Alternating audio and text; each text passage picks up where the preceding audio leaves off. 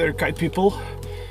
Sven from Aerialis Kites, and uh, I have a confession to make. Yeah, that's right.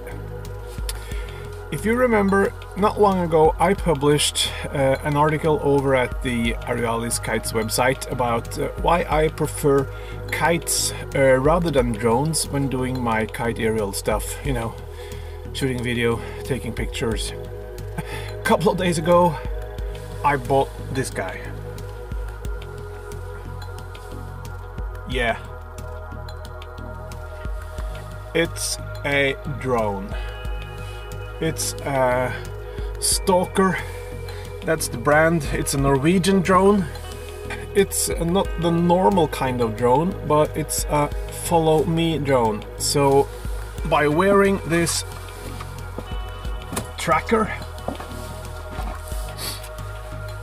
here it is, the drone will follow you wherever you go.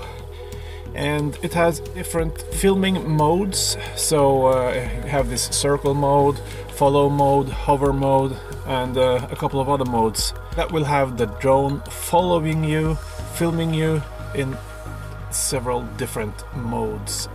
You can also set it in scenery mode and fly it more or less like a normal drone. And uh, it comes with no camera. And I think that's good because then I can use my GoPros. It's uh, compatible with GoPros up to GoPro 7 at least. So uh, now I'm ready for uh, the initial flight. And yes I have done the certification. I have uh, the correct insurance.